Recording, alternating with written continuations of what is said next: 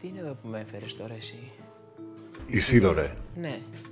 μόλις μπήκες στο μυστικό δωμάτιο.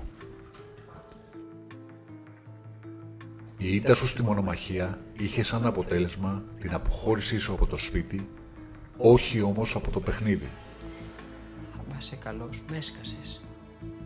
Εδώ θα περάσεις τις επόμενες μέρες και θα έχεις το χρόνο να γνωριστείς καλύτερα με τον εαυτό σου.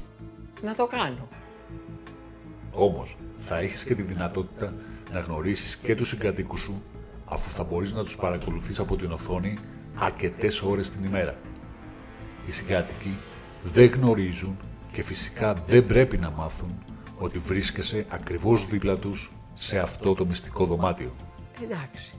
Εδώ η διατροφή σου και ο ύπνος σου είναι εξασφαλισμένος. Ωραία. Εξασφαλισμένη επίσης είναι και η παραμονή σου στο παιχνίδι για την πρώτη εβδομάδα αφού έχεις ασυλία. Το πιο σημαντικό όμως είναι ότι στο τέλος της εβδομάδας θα μπορείς με μία και μόνη σου απόφαση να ανατρέψεις τα δεδομένα. Σου εύχομαι καλή διαμονή και καλή διασκέδαση. Πω, πω, πω, πω, πω. Και με έσκασες. Δηλαδή να φανταστείς. Μπήκα πολύ θυμωμένος. Βγήκα μάλλον πολύ θυμωμένος. Γιατί εδώ που τα λέμε, ένα καλοκαίρι στο χάρισα.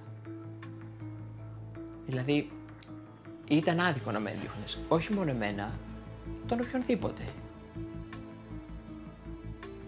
Δεν πήγα διακοπές, δεν είδα τους δικούς μου όσο ήθελα και πολλά άλλα. Τελικά, ώρες ώρες ξέρεις τις σκέφτομαι. Έτσι όπως κάθομαι και γνωρίζω περισσότερο τον εαυτό μου, τον Ισίδωρο. Ότι ο Θεός ξέρει και τι σου δίνει και τι σου παίρνει και τι σου επιστρέφει και κυρίως τους λόγους που στο κάνει.